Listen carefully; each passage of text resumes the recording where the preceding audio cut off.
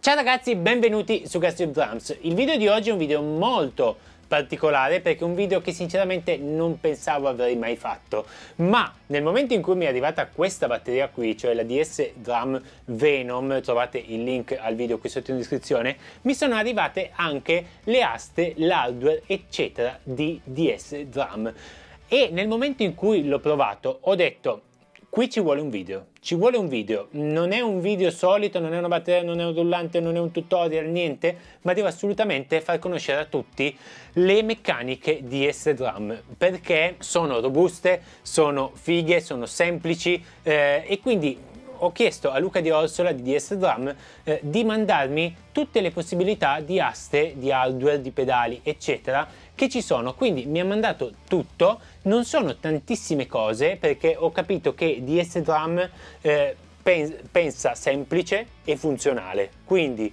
poche cose anche, ma fatte bene, semplici, che servono veramente e funzionali perché adesso ormai anche per quanto riguarda l'hardware ci sono hardware di qualsiasi tipo mm, quindi dalla cosa più strana assurda eccetera no qui vi farò vedere 1 2 3 4 5 mi sembra. 6 quello del rullante 6 hardware che sono i 6 hardware compreso il pedale che fa DS drum. E basta. Ma vi farò capire il perché è una figata il perché ho deciso di fare questo video. Quindi partiamo subito, mando la sigla e poi ci spostiamo di là alla batteria e incomincio a farvi vedere tutto quanto.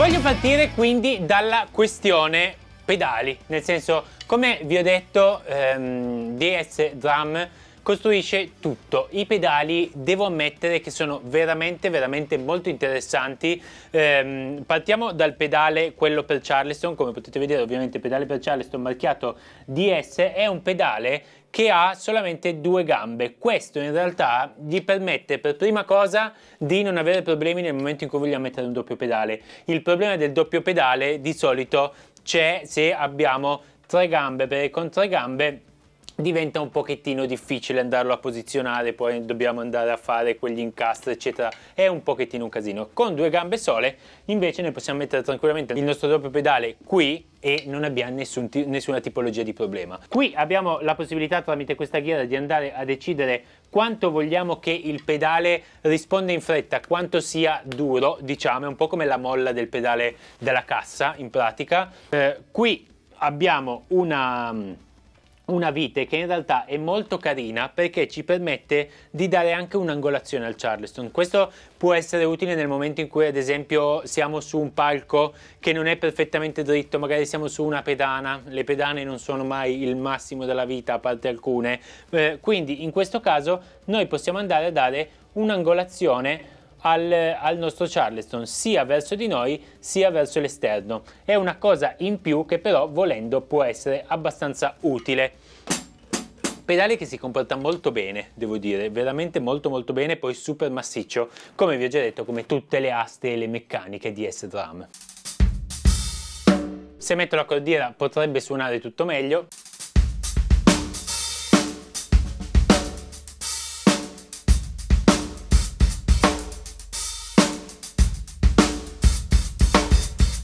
risponde veramente molto molto molto bene. Stessa cosa per quanto riguarda il pedale della cassa. Il pedale della cassa in realtà ve lo posso anche prendere per farvelo vedere. Un pedale molto semplice in realtà. Mi piace questa cosa come vi ho detto della semplicità. L'ho già un po' impolverato devo dire. Della semplicità che ha eh, DS Drum nel fare le cose semplice e funzionale quello che piace a me. Anche qua marchiato DS Drum un pedale a catena doppia, ve lo faccio vedere magari di qui, potrei farvelo vedere, pedale a catena doppia mi piace molto il, il, chiama, il battente eh, di questo pedale perché come potete vedere sopra è marchiato DS Drum e mi piace molto perché nel momento in cui vado a posizionarlo Qui dalla camera in alto potete vedere eh, lo stemma diciamo di S-Drum, è una chicca però eh, di S-Drum fa molta attenzione a questa cosa quindi mi piace, bravi, devo dire bravi. E poi detto questo per il resto eh, molla che ovviamente si può andare a regolare come si vuole, qua abbiamo il ferma, ferma pedale diciamo e come risposta è veramente un pedale molto leggero Ovviamente dipende da eh, leggero non nel senso di molla, nel senso non è che un pedale che va dove vuole. È un pedale molto controllato ma molto leggero da utilizzare, nel senso non te lo senti sotto i piedi, è una bella sensazione devo dire.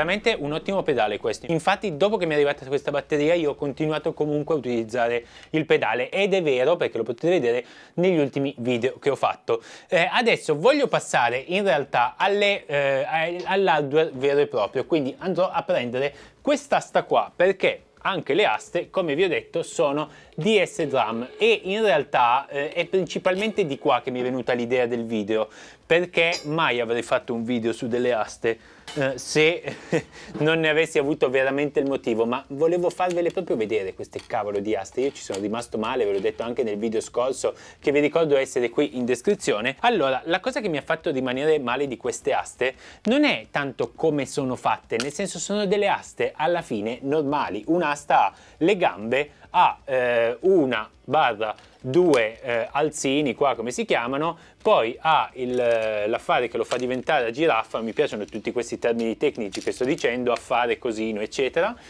ma eh, la cosa che mi ha fatto innamorare di queste aste sono per prima cosa i particolari perché banalmente tutte le memorie di queste aste hanno il logo di S-Drum sono tutte molto perfette. Cioè guardate nel momento in cui metto le memorie quanto è pulito tutto. Mi piace questa pulizia, questa semplicità, eh, ma allo stesso tempo ricerca di DS Drum. E poi la cosa che mi è piaciuta più di tutte è che eh, nonostante siano nuove, eccetera, quindi le aste nuove vanno meglio, ma non mi è mai capitato di avere delle aste che eh, andassero così tanto bene, nel senso da non avere nessun tipo di problema a tirarle avanti, indietro, eh, abbassarle, alzarle, muovere qui questa cosa che tra l'altro ha dei mini mini dentini in modo tale da eh, non avere una pallina e basta, ma poter fare dei mini scatti per riuscire a posizionarla come vogliamo.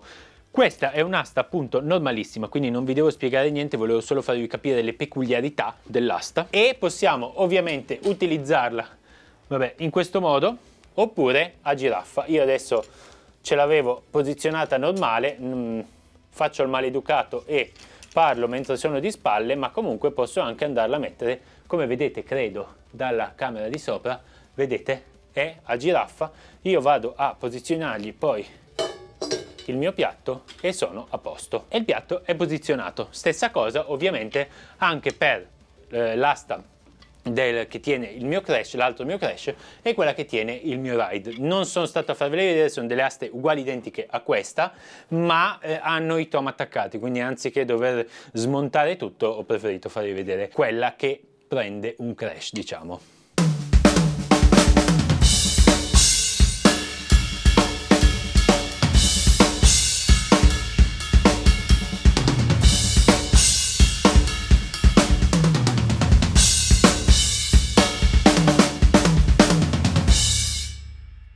E tra l'altro le aste molto spesso sono sottovalutate perché eh, alla fine dici vabbè devono tenere i piatti, ma prima cosa se i piatti stanno fermi?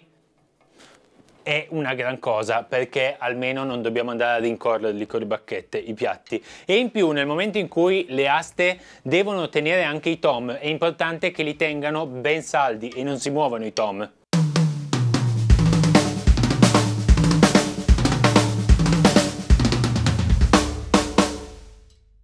Quindi queste veramente ottime. L'asta che è la cosa più stupida, passatemi il termine, eh, ma eh, quando hai un'asta di qualità capisci che è veramente un'asta di qualità. Reggi rullante eh, che è molto comodo, io vabbè gli ho attaccato questa clamp qua per andare a, ad utilizzare il microfono sotto che ho di nuovo spostato, eh, in pratica ha, mm, funziona come il resto delle aste, quindi super comodo, super eh, massiccia e in più qua in mezzo, non si vede ma comunque dove vi sto indicando adesso, ha una pallina che ci permette di muovere il rullante assolutamente come vogliamo. Possiamo muoverlo in qua e in là e in più possiamo anche traslarlo avanti e indietro così almeno possiamo posizionare anche il reggirullante un pochettino più lontano comunque dove non ci dà fastidio e poi traslare il rullante proprio in, in senso orizzontale e eh, c'è una specie di rotaia diciamo e, e così almeno ce lo posizioniamo come siamo comodi, come ci è comodo e tutto quanto. Adesso passiamo alle chincaglierie. Mi piacciono le chincaglierie, mi piacciono molto, quindi vado a prenderle, sono tre. Non trovo le altre due, dove le ho messe? Perché appoggio la roba a caso sempre? Ah, su qui. Eccomi qua. Allora, praticamente queste sono le chincaglierie che a me piacciono tanto, perché sono quelle cose un po' fuori di testa che però mi piacciono. Eh, più che altro super comode, super piccole, eh, ci stanno in tasca praticamente e ti salvano la vita in alcuni casi. Partiamo da questa che è quella un po' più semplice, diciamo, tra le due, cioè mh, mm, super semplice asta singola eh, che io voglio utilizzare per andare a inserire un China, China che vorrò mettere più o meno qui, un pochettino più in alto del crash. Quindi la cosa che posso fare con quest'asta è per prima cosa allora andare a posizionare il mio crash in questo modo, quindi lo metterò un po' più in basso e in maniera super semplice io vado a inserire la mia asta di S in questo modo, così, così, e io il mio China ce l'ho non so se lo vedete da questa camera, va a vedere, non lo vedete, ma ve lo faccio vedere subito. Posizionato in questo modo. Non lo vedete? Lo vedete? Sì. Io poi volendo posso anche andare a tirarlo un po' più verso sinistra, un po' più verso destra, come voglio, anche un po' più indietro e posso fare abbastanza tutte le manovre che voglio. Quindi io posso suonare tranquillamente con un'asta aggiuntiva senza avere l'asta aggiuntiva.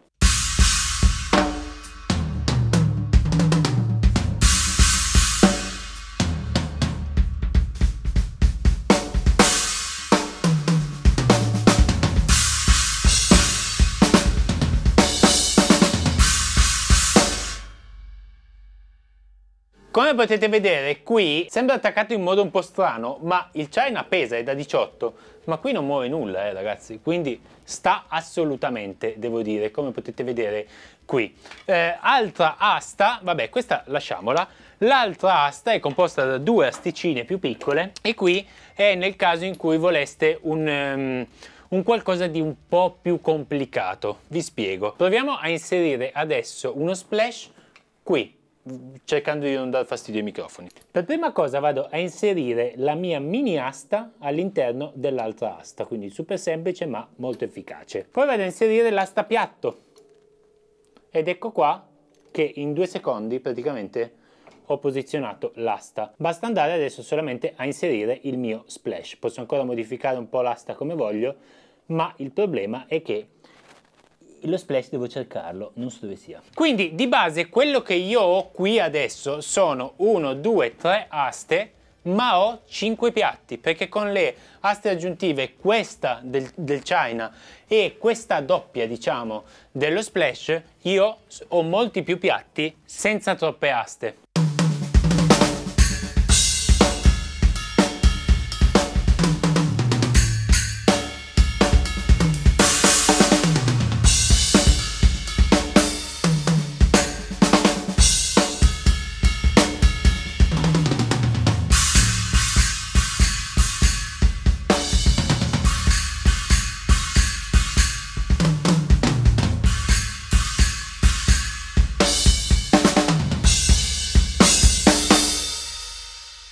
Quindi ragazzi sono contento di aver fatto questo video perché da quando ho provato queste aste devo dire che è stata una piacevole sorpresa quando le ho provate la prima volta perché non mi aspettavo eh, questa cosa, ve l'ho già detto tante volte in questo video ma non mi aspettavo tutto questo, eh, sono contento per vari motivi perché queste aste ho potuto farvele conoscere, sono molto contento perché sono riuscito a inserire due piatti in più all'interno della batteria senza troppi sbattimenti, cioè mettendo due astine lunghe così ho messo due piatti eh, in più più sulla mia batteria. Questa è sicuramente una cosa positiva eh, anche per chi magari suona live e quindi non ha più bisogno di portare così tante cose. Come avete visto queste mini aste sono molto robuste e possono portare magari non ci metterei un ride ma io ci ho messo tranquillamente un China 18 e l'ho suonato pestandolo bene e non si è mosso. Quindi eh, direi che possono tenere abbastanza qualsiasi tipologia di piatto. Io voglio ringraziare ancora DS Drum per avermi mandato questa batteria che vi ricordo